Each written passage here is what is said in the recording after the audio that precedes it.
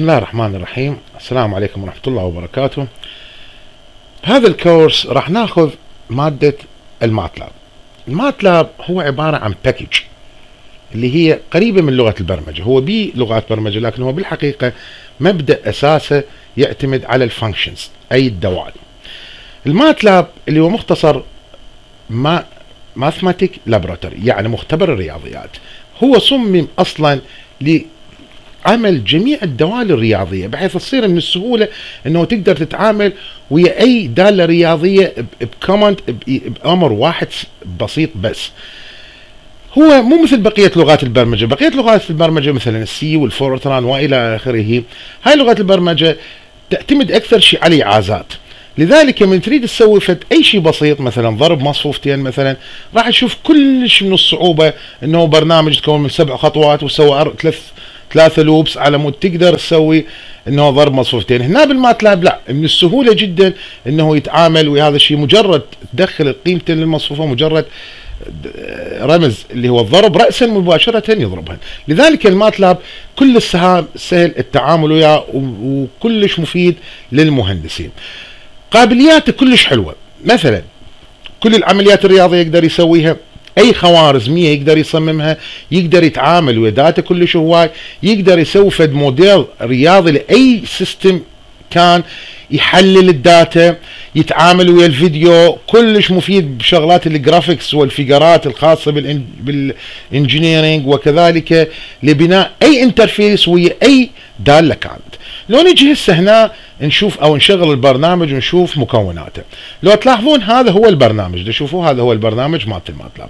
من أريد أشغله شو نسوي؟ مجرد double click عليه راح يبدأ يشتغل. طبعا راح ياخذ وقت بين ما يشتغل هذا ال MATLAB. لو تلاحظون يبدي يشتغل. طبعا السرعة مال يعني عمل أو أو أو إنه ينفتح البرنامج يعتمد اولا على سرعة الحاسبة مالتك. وعلى ال version مالت ال MATLAB. على فكرة ال MATLAB كل سنة ينزلون version جديد. ليش ينزلون كل version جديد؟ لأن هم معتمدين أصلا على المن على الدوال. كل سنة ينزلون دوال جديد فينزلوها بال version الجاي وهكذا. لذلك كل سنة ينزلون فد version جديد بدوال جديدة المن للبرامج من راح يشتغل ال MATLAB؟ راح تلاحظون كم شغلة بي اللي هي. اولا عندي شنو؟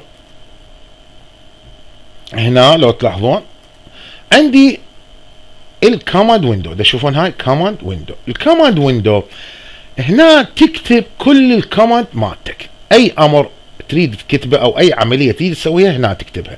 وراح يطلع لك الناتج مالته هنا. مثلا خلينا نفترض. خلينا نكتب مثلا X تساوي لي مثلا رقم خمسة. من أدوس enter راح رأسا يخزن لك المتغير اللي هو سمى سمى X يساوي لي يساوي خمسة. رأسا خزن لك اياه وطلع لي الناتج إنه X تساوي خمسة. هذا هو شنو ال command window على فكرة إذا أنت ردت مثلا من أقول له مثلا X تساوي مثلا أو خلينا نقول مثلا Y تساوي 10 ما أريد أنا من ادوس enter اريدها تنخزن كمتغير. لكن ما أريد يطلع لي الناتج على المن على ال command window على الشاشه أقدر شو أسوي؟ على مود يتنفذ البرن الإيعاز بس بنفس الوقت ما يطلع لي على الشاشة بس تخلي فارزه منقوطة. إيش راح يصير؟ من ادوس enter راح يتنفذ الإيعاز لكن شنو؟ ما راح يطلع على الشاشة بس هو ينخزن إنه ال Y قيمته 10 هذا هو مبدأ ال command window اللي هو نكتب به جميع العمليات مالتنا. نيجي إلى شيء آخر اللي هو ال workspace اللي تشوفوه هذا هو ال workspace. ال workspace شنو فائدته؟ فائدته إنه شكو متغير. أنت تكتبه هنا تعطيه قيمة راح يخزنه هنا. شوف أنا أنا إيش خازن؟ خازن ال X إيش قد منطي؟ منطي قيمة خمسة.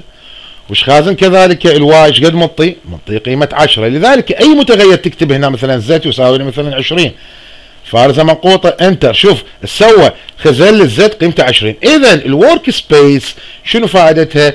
تخزن المتغيرات اللي أنت تتعامل وياها ال variables اللي أنت تتعامل وياها.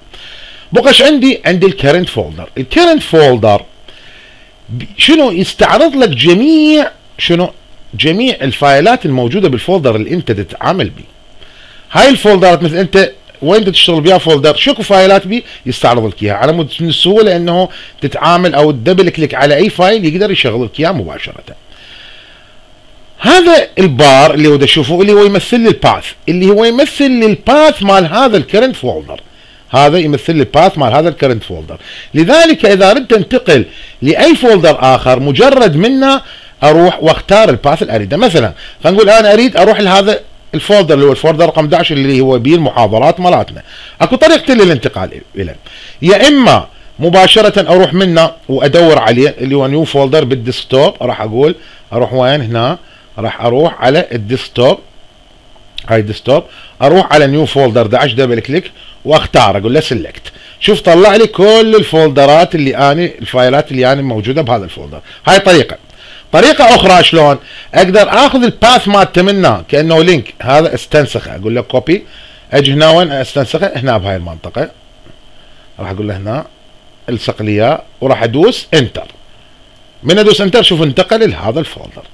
هاي فد نبذة بسيطة عن ال windows الموجودة التابعة المن التابعة لل MATLAB. بقت شغلات بسيطة أخرى اللي لازم نتعلمها بالبداية. مثلا أنا كتبت هواي شغلات بال command window واريد امسحها لأن صارت هوسة. أكو شغلة سريعة جدا لمسح الشاشة مال command window اللي هو أكتب سي ال سي سي ال سي مجرد سي ال سي بس أدوس Enter راح تنمسح شنو؟ تنمسح الشاشة كأنه مالت من؟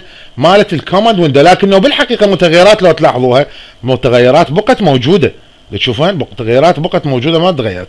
لكن إذا ردت أمسح المتغيرات شو أقول له؟ أقول له clear امسح لي المتغيرات. مجرد ادوس Enter راح تلاحظون انه جميع المتغيرات اللي هنا انمسحت وبهاي الحالة أخذنا في مقدمة بسيطة عن موضوع ال